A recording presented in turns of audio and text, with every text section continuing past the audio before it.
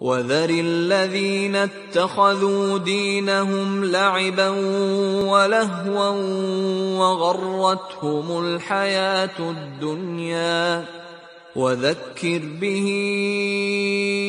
أن تبسل نفس بما كسبت ليس لها من دون الله ولي ولا شفيع. Syafaat itu diberikan oleh Allah atas permintaan Rasulullah SAW dengan diringankannya azabnya di neraka. Diringankan. Ini perlu diperhatikan. Jadi jangan sampai mengatakan Abu Talib ini Muslim. Abu Talib itu kafir. Walaupun paman Nabi.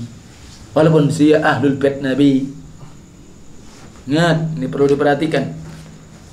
Ya. Nah, perhatikan syafaat yang diberikan oleh Allah atas izin Allah. Dan kemudian permintaan Rasulullah Sallallahu Alaihi Wasallam ingat syarat syafaat itu yang pertama karena izin Allah. Yang kedua seorang itu bisa memberikan syafaat karena memang diizinkan oleh Allah. Dan kemudian apa? Karena dia tadinya ahli tauhid. Adapun untuk Abu Talib kekhususan. Hanya apa tadi bukan dilepaskan dari azab neraka, bukan dia artinya dimasukkan ke surga, cuma apa? diringankan azabnya di neraka. Perhatikan, yaitu walaupun demikian diazab hanya sebatas mata kakinya. Jadi gak seluruh badan. Yang diazab hanya sebatas mata kaki, jadi kaki dari telapak kaki ke atas sampai mata kaki. Namun menjawabkan apa? Otaknya aja mendidih. Ya kan antum? Jadi bukan seluruhnya karena syafaat Rasulullah SAW diizinkan oleh Allah hanya sebatas mata kaki yang diadab.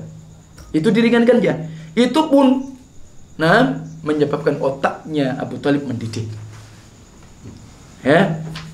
Nah, dia beranggapan bahwa itu adalah azab yang paling pedih di neraka. Padahal begitu. Sudah hanya yang diadab sebatas mata kaki, itu pun otaknya mendidih, itu pun juga membayangkan apa? Sekarang azab yang paling pedih. Subhanallah. Padahal itu justru adab yang paling ringan yang ada di dalam api neraka.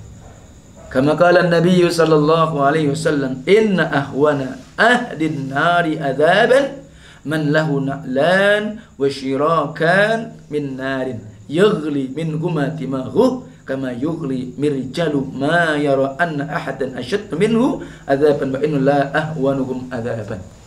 Ini hadis yang diriwayatkan Imam Muslim di dalam sahihnya. Sesungguhnya penghuni neraka, ahli neraka yang paling ringan siksanya, adabnya adalah siapa? Seseorang memiliki dua sandal dan dua tali sandal. Punya dua sandal dan tali sandal dari api neraka.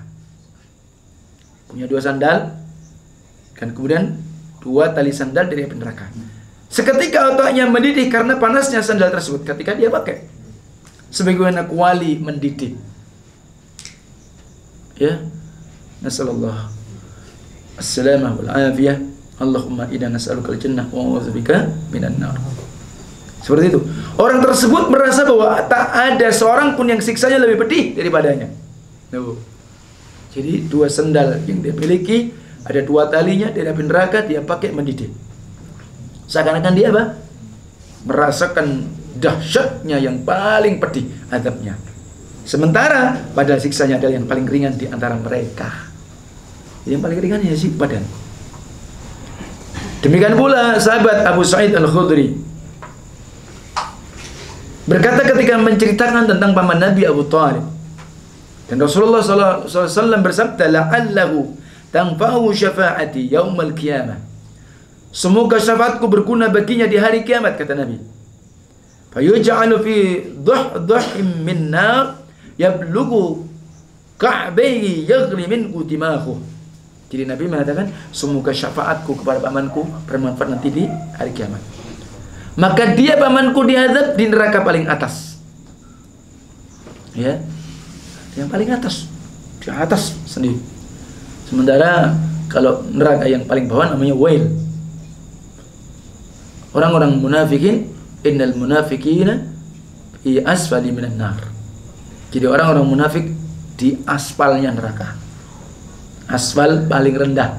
Makanya kalau kita orang orang Indonesia bahasanya yang tempat untuk jalan itu namanya aspal.